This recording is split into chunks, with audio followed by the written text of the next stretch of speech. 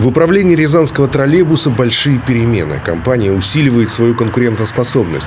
Для этого из Москвы, из Мосгортранса уже прибыли 40 автобусов. Сейчас Лиазы ожидают выхода на линию. Понятное дело, штатная численность тоже должна возрасти. На УРТ уже открыты вакансии водителя и автослесаря. По поручению губернатора Рязанской области разработана дорожная карта по оздоровлению э, управления Рязанского троллейбуса. Э, в исполнении карты проводится ряд мероприятий по улучшению финансово-хозяйственной деятельности. Приоритетами, естественно, для нас являлось обслуживание пассажиров города. Это, во-первых, правильное обслуживание в соответствии расписанию, чтобы жители города не жаловались.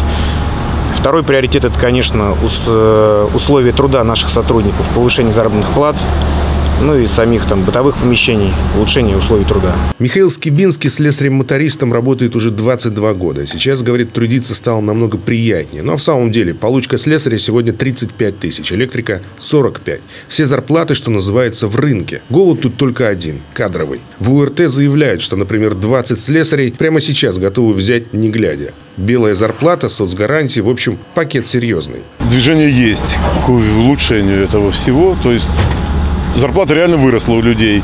Вот, да, работа в этом направлении ощутима.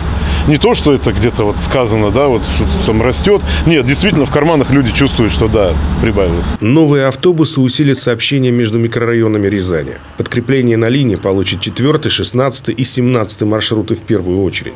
Впрочем, вполне вероятно появление новых схем. Задача УРТ – взять на себя все социально значимые дорожные артерии. В первую очередь, конечно, очень хочется связать э, район Дашкова-Песочни с микрорайоном Конищева. Другой также можно связать, мы надеемся, что Дашкова-Песочни с районом Горощи.